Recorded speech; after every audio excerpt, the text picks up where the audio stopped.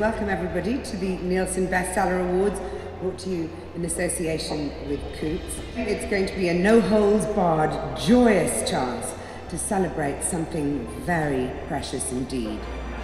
Oh, it makes me feel absolutely thrilled to bits. It's just amazing. An absolute joy. I can't tell you how happy it's made me. It's kind of a miracle, really, isn't it? Completely blown away. Yeah, it's fantastic.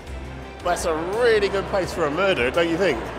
I, I could come up with lots of horrible things happening in here. One of my brothers told me nobody would buy my book, so I'm so glad that he's been proved wrong.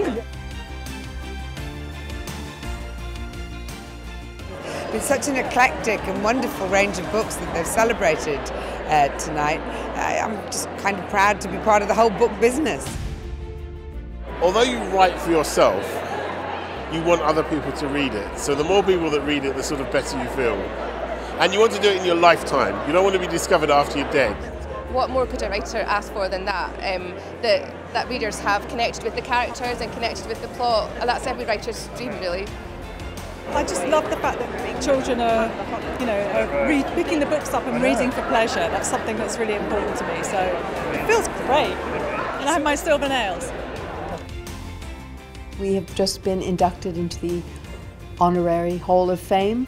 Illustrators always draw themselves and they don't even notice. Yeah, I do put big noses on everything.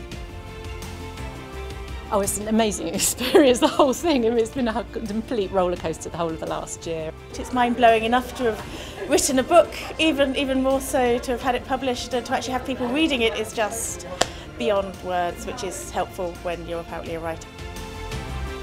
We're fascinated about what real people we might know in real life actually do. So I think there's more of that to come.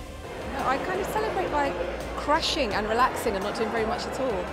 It's, it's sad in a way because you're living with all these characters and in this little world, and then you have to come out of it. When you're holding it in your hand, that's the kind of point at which um, you know it sort of becomes real. You know, having, just having that book in your hand in itself is a celebration in itself. You have to think about the next book that you're writing, not about the success or failure of the last book. I'm doing the next book of Julia's, which is going to be aliens. After we've covered all the subjects on Earth, we have moved into outer space, and it's it's a nice change. I don't have to draw any rabbits or squirrels. That is the thing that makes me the happiest, is when parents or kids write to me and say, I now love reading because of you.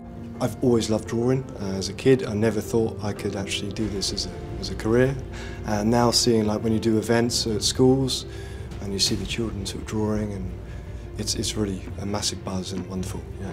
I think there must have been at least four authors tonight who talked about the fact that their book had changed their lives, and that's a pretty immense thing to happen.